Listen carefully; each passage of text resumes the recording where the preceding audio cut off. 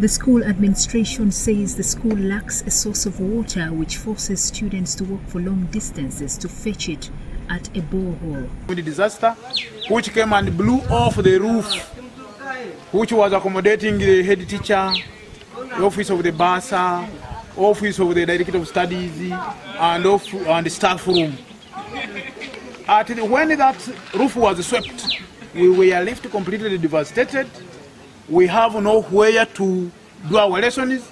We have nowhere to organize our lessons. Since then we are just in a state of despair. We are always the students are scared to come to school because whenever it threatens to rain they some of them tend by the way to run to the nearby neighbors to, to get asylum or to, to get shelter.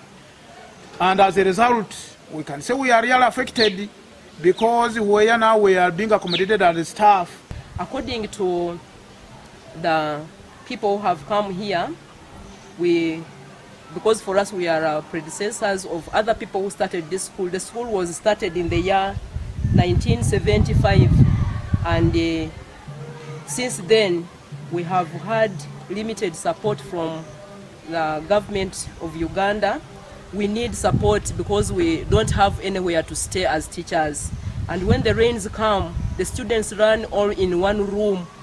And we have to thank God that uh, during that time this, disaster occurred, the students, most of them were at home because it was a Sunday. As the government, of course, we have been uh, informed about this issue. That's why I'm here.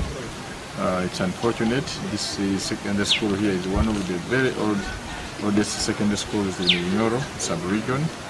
But from my, the look of things, they really need a lot of support. They need some new structures here, at least one or two of them.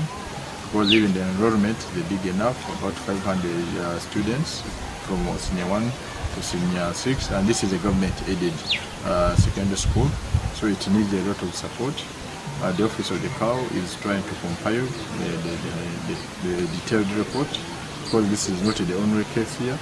Uh, since the rain started, are being accompanied by heavy, we, stronger winds. We have so far had three cases. This uh, schools now, this one here, the primary school opposite, this one here, the St. Bosco. These iron sheets blew and came nearer to them, but they ran away from the iron sheets and they survived. We thank God that they were able to survive. Uh, according to the cost, we estimate that uh, the destructions of the, the, the said building is uh, up to the tune of above 30 millions. And uh, we don't long to stay in the same building because it is uh, still dilapidated. If you roofed it again, it will still collapse. The winds here are too much, the place is waterlogged, and we need some assistance from government and other stakeholders. And uh, we that if all that is done, we shall be able to teach the learners very effectively. Otherwise, we are in a very sorry state and we need your assistance. Report by Godfrey Muhumuza for the news.